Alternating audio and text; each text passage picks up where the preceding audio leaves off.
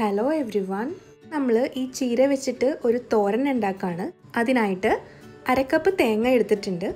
മൂന്ന് ചെറിയ ഉള്ളി ഒരു വെളുത്തുള്ളി കുറച്ച് കറിവേപ്പില ഒരു നുള്ള് ജീരകം കാൽ ടീസ്പൂൺ മഞ്ഞൾപ്പൊടി. ഇതെല്ലാം ഒന്ന് ക്രഷ് ചെയ്തെടുത്തിട്ടുണ്ട്. ഒരു പാൻ ചൂടാക്കാം. അതിലേക്ക് ആവശ്യത്തിന് വെളിച്ചെണ്ണ ഒഴിച്ചു കൊടുത്തിട്ടുണ്ട്. കുറച്ച് കടുക് ഇട്ട് കൊടുത്തു. ഇഞ്ചി ചതച്ചത് അര ടീസ്പൂൺ ഇട്ടിട്ട് പച്ചമണം മാറുന്നത് വരെ നന്നായിട്ടൊന്ന് വഴറ്റിയെടുക്കാം. കുറച്ച് കറിവേപ്പില ആഡ് ചെയ്ത് കൊടുക്കാം. സവാള ചെറുതായിട്ട് അരിഞ്ഞത് ഒരു കപ്പ് ഇട്ട് കൊടുത്തിട്ടുണ്ട്. അത് നന്നായിട്ടൊന്ന് വഴറ്റിയെടുക്കാം.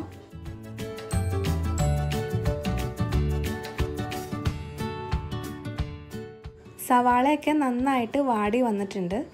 നമ്മുടെ ചീരയുടെ തണ്ടിന് ലീഫിനേക്കാളും കൂടുതൽ വേവ് കൊണ്ട് അത് ആദ്യം ചേർത്ത് കൊടുത്തു. ചീരത്തണ്ട് അര കപ്പാണ് ചേർത്ത് കൊടുത്തത്.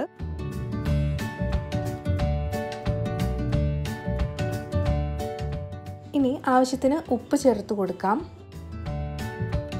നന്നായിട്ട് മിക്സ് ചെയ്തിട്ട് മൂടി വെച്ച് വേവിച്ചെടുക്കാം. അത് കുക്കാവാനായിട്ട് ഒരു മൂന്നാൽ മിനിറ്റ് മതിയാവും.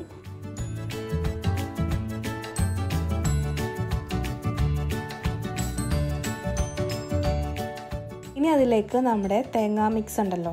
അത് ചേർത്ത് കൊടുത്തിട്ട് അതിന്റെ പച്ചമണം മാറുന്നത് വരെ നന്നായിട്ടൊന്ന് വഴറ്റിയെടുക്കാം. ഇനി അതിലേക്ക് അരിഞ്ഞു വെച്ചിരിക്കുന്ന ചീരയുടെ ഇല ചേർത്ത് കൊടുത്തിട്ടുണ്ട്. ഒരു രണ്ട് കപ്പോളം ഉണ്ടാവും. ചീരയുടെ ഇല വാടി വരുന്നത് വരെ നന്നായിട്ടൊന്ന് മിക്സ് ചെയ്ത് കൊടുക്കാം. ഉപ്പിന്റെ കുറവുണ്ടെങ്കിൽ നോക്കിയിട്ട് അതനുസരിച്ച് ആഡ് ചെയ്ത് കൊടുക്കാം.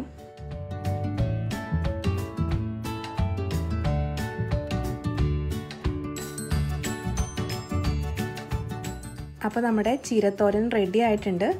ഇനി നമുക്ക് സ്റ്റൗ ഓഫ് ചെയ്യാം.